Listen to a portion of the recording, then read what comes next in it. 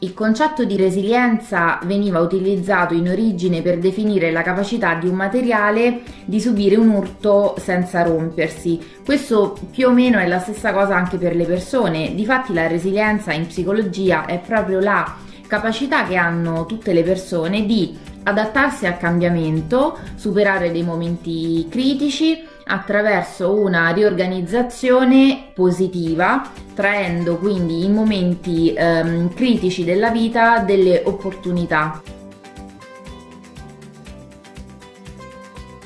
Possiamo dire che sono resilienti per natura,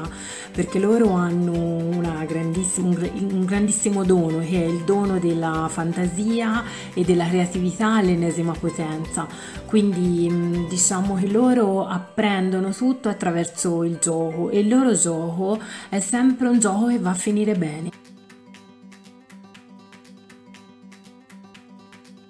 Ogni adulto sta reagendo in modo diverso, c'è chi sta vivendo emozioni di ansia, paura, preoccupazione in modo completamente naturale. Ci sono quelli che entrano in forti stati d'ansia, paura e preoccupazioni e spesso sono persone che già da prima avevano delle difficoltà simili, oppure ci sono degli adulti che applicano una completa negazione, che cosa significa? Che continuano ad uscire come se niente fosse. Ovvio che un bambino che vive in casa con una famiglia che sta soffrendo di forte preoccupazione, forte stato d'ansia, inizierà piano piano ad assorbire questo tipo di emozione. È anche vero però che, come diceva Katia, i bambini sono molto più capaci di cogliere le opportunità in momenti di crisi perché hanno una capacità di cambiamento molto più veloce di noi adulti.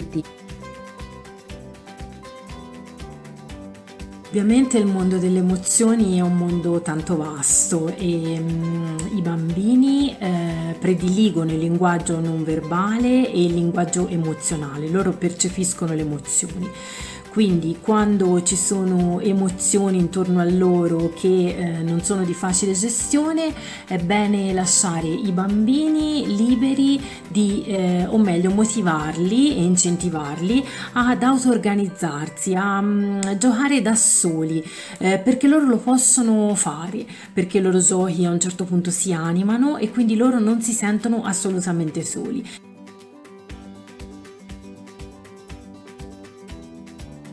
Um, non si può parlare di sbagli assolutamente perché ogni genitore agisce per il bene del proprio figlio, però cercare di confidare di più nei bambini, nella loro capacità di um, autonomia. Non hanno bisogno che nessuno gli organizzi la vita dall'inizio alla fine perché la loro vita è fatta di gioco e quel gioco nasce dalla loro testa con le loro regole. Quindi il rispetto di questo è più che sufficiente Niente.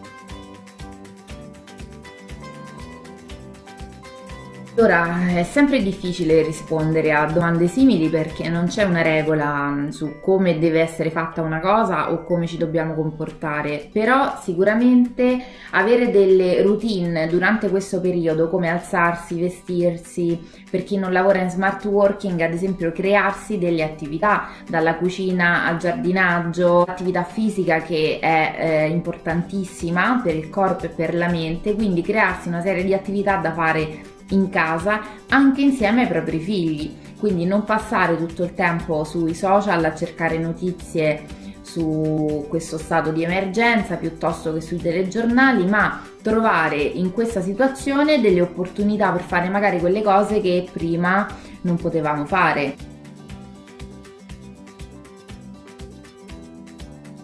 Eh, sì, vi voglio lasciare con dei pensieri ovviamente positivi, che sono quelli di pensare al proprio benessere, perché il proprio benessere, la propria serenità e la propria tranquillità sono il benessere, la tranquillità e la serenità del bambino, di confidare nelle capacità di resilienza del bambino perché sono molto alte e di privilegiare la qualità eh, del tempo che passiamo con i nostri figli e non la quantità, perché è meglio eh, eh, pochi minuti, un quarto d'ora, al massimo mezz'ora eh, passati con loro dentro al loro gioco al 100% che non tutto il pomeriggio pensando ad altre cose.